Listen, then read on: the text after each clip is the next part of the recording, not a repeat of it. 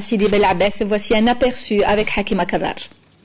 Danseuses et danseurs parés de tenues traditionnelles, des sonorités sorties du patrimoine folklorique mondial, voici l'ambiance qui nous vient tout droit de la capitale de la Mekira, Sidi Bel Abbas. 13 pays, 13 danses populaires, de quoi subjuguer le public très nombreux et les amateurs de la chorégraphie. C'est un véritable long mais exaltant voyage à travers les différentes cultures des quatre coins du monde. La spécificité de cette édition, c'est la participation des enfants palestiniens.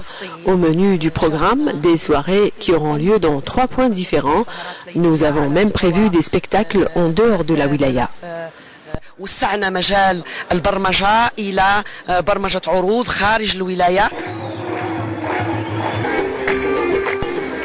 Des moments forts ont marqué cette première soirée, comme les prestations des troupes colombiennes, libanaises ou encore ukrainiennes.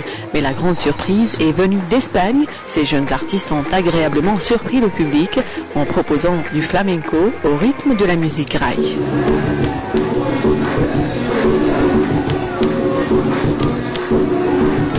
très important de, de parler sur l'histoire de l'Algérie et de l'Espagne, qui sont très reliés pendant des siècles.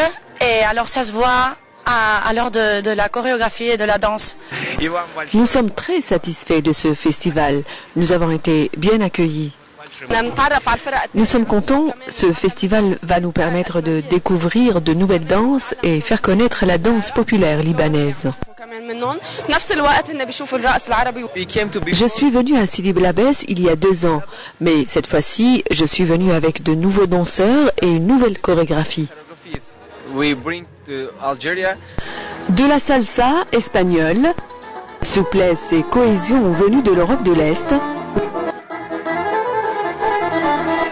ou encore des prestations ponctuées par des troupes authentiques algériennes, le public abbassi s'est délecté du programme finement concocté et découvert l'art de l'expression corporelle.